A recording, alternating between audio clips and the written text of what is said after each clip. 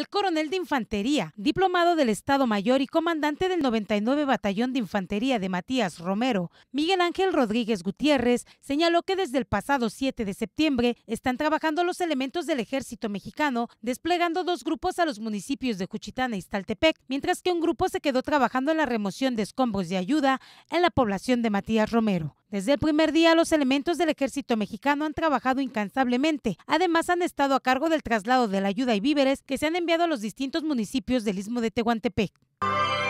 en particular, el 99 Batallón de Infantería cuenta con tres compañías.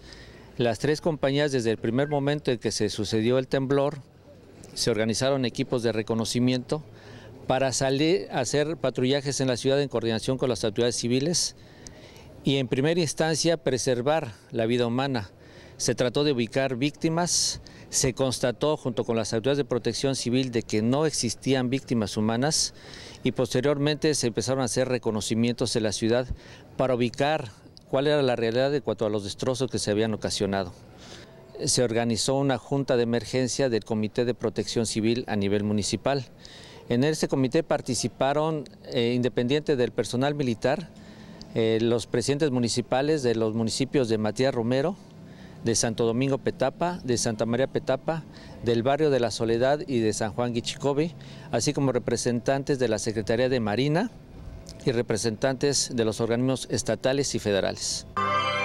Asimismo, en el resguardo de edificios que se encuentran en mal estado para evitar que las personas en el intento de rescatar alguna pertenencia puedan perder la vida. En Juchitán de Zaragoza, los uniformados están a cargo de atender el albergue y preparar los alimentos para quienes acuden a este lugar.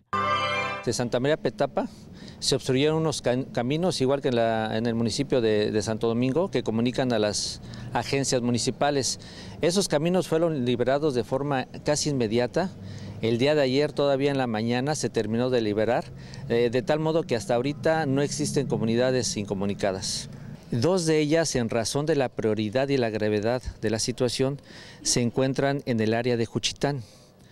Y la tercera compañía está organizada aquí en los municipios de Matías Romero, de Santo Domingo, eh, de Santa María y de San Juan Guichicobe. En el barrio de la Soledad la situación es un poco menos grave y se hacen reconocimientos para ver este, en qué podemos estar apoyando a la población civil.